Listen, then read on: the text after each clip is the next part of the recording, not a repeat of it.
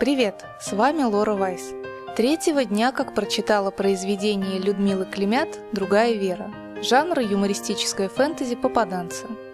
И уж очень запала в душу история. Да, она еще пишется, но слог автора, тонкий юмор, в данном случае самоирония героини, зацепили, крепко зацепили.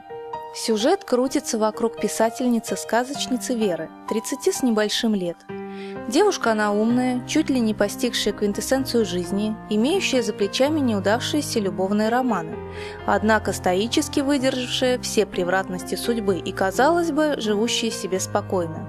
Пишет сказочки, издается. Но случилась тут оказия. Не нужны стали ее непорочные фэнтези-истории. Издательство требует горяченького, эротики, страсти. И чтобы написать достойную книгу эротического содержания, Вера решается использовать как опыт подруг в сердечных делах, так и свой личный. Для чего открывает, по сути, ящик Пандоры, откуда непременно выползают призраки прошлого, а точнее, некогда горе-рыцари ее сердца. Но, как известно, кто старое помянет, того засосет в параллельный мир. Так и происходит с героиней.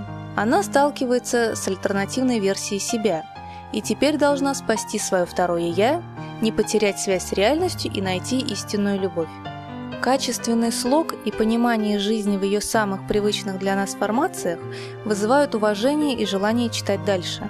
Героине веришь, за нее переживаешь, несмотря на столь короткое знакомство, а параллельно вспоминаешь себя до и себя после.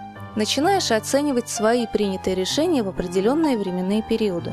И для меня это очевиднейший плюс – показатель того, что эмоции в книге реальные, настоящие. Подводя итог, хочется пожелать автору вдохновения, чтобы история продолжала радовать оригинальностью и в то же время жизненностью происходящего. А пока на этом все. До скорой встречи, услышимся!